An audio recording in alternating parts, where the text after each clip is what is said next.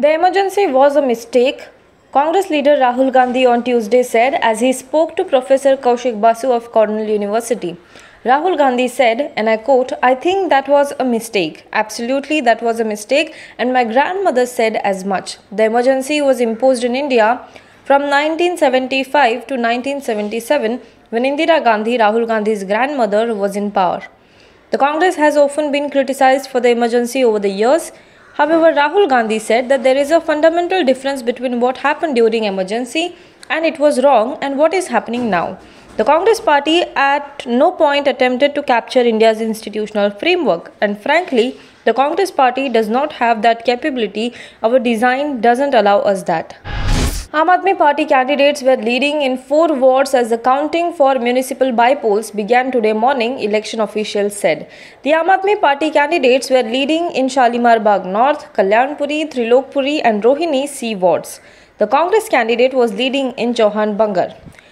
More than 50% votes were cast in the bypolls for the five municipal wards held on February 28. Out of the five wards, four were held by the Aam Aadmi Party, while Shalimar Bagh North had a BJP councillor. The results of all the five wards where Aam Aadmi Party, BJP and the Congress were main rivals is expected to out later on the day. An alert by Computer Emergency Response Team of India has averted a hacking attempt of the power systems in Telangana's TS Transco and TS Genco by a China-based group. TS Transco and TS Genco are power utilities of the state. The hackers were reportedly trying to steal data and disrupt power supply. Genco has blocked suspected IP addresses and changed the user credential of officials operating remote sites and sophisticated power grids.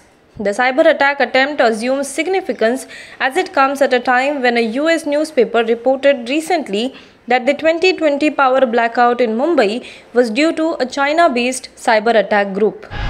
A 29 year old software engineer was attacked with a dagger by a stalker on Tuesday in Cyberabad who scaled the walls of her apartment complex to enter her house. The incident took place at Lakshmi Nagar colony under the jurisdiction of Narsinghi police station at around 7:40 pm.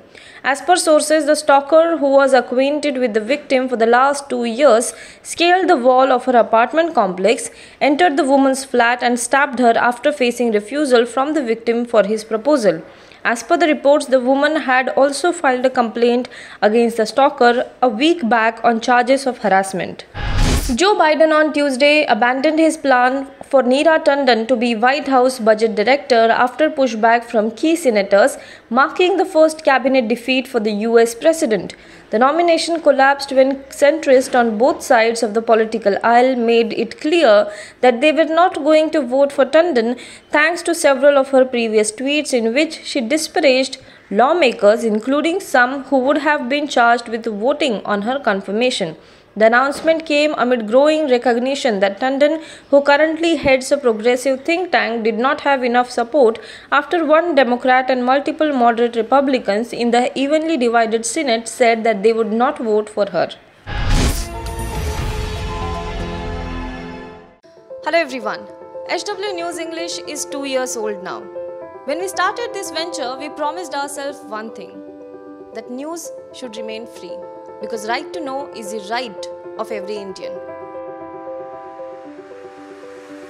But to keep news free for everyone, we need support from some of you. And thus, we have rolled out membership on our YouTube channel HW News English. But mind you, the membership is completely voluntary.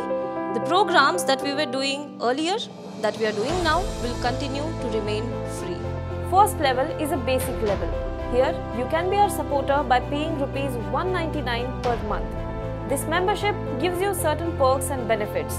The perks include unique badges in front of your name, a live show from Mr. Sujit Nair and from Mr. Akhilesh Bhargava per month for our members. You can also vote in some exclusive members only polls. Now the second level is super supporter. Here you can be our super supporter by paying rupees 3999 per month. This membership will include every perk that comes with basic level. Additionally, our super supporters can be a part of a WhatsApp group where we can have discussions and suggestions on various topics. The second perk includes a gift pack with our merchandise.